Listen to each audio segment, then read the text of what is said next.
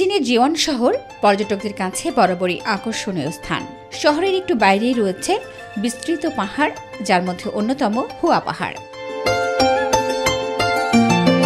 এখানে বেশ কিছু মন্দির এবং বিভিন্ন ধর্মীয় তীর্থস্থান রয়েছে। সবচেয়ে বিখ্যাত মন্দিরটি দক্ষিণে একটি পাহাড়ের চূড়ায় অবস্থিত। প্রাচীন এই মন্দিরটি পরবর্তীতে টি হাউসে রূপান্তর করা হয়। জিয়ান শহর থেকে হোয়াশান টি হাউসে যেতে হলে প্রথমেই খাড়া পাহাড় বেয়ে প্রায় দুই ঘণ্টার পথ অতিক্রম করতে হবে। তবে এই পাহাড়ি পথ পাড়ি দেওয়াটা বেশ কঠিন। খাড়া পাহাড়ের গায়ে কেটে রাখা, ছোট ছোট পা রাখার জায়গায় পা রেখে ধীরে ধীরে সামনে এগিয়ে যেতে হয়। এখানেই শেষ নয়। পাহাড় বেয়ে আরও উঁচুতে ওঠার পর আর সিঁড়ি পাওয়া যায় না। তখন শুধুমাত্র পাহাড়ের গায়ে লাগানো সরু পাটাতন এবং আঁকড়ে ধরার জন্য একটি শিকল থাকে।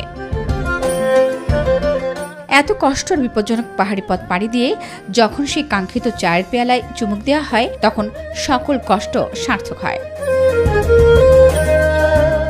এই বিশেষ চা তৈরি করতে পাহাড়ের বরফ ঝর্ণা এবং বৃষ্টির পানি ব্যবহৃত হয়। আগে চা পান করতে হলে এই পানি নিজ হাতে নিয়ে আসতে হতো পাহাড়ের চূড়া থেকে। বর্তমানে এই কষ্টটুকু না করলেও চলে।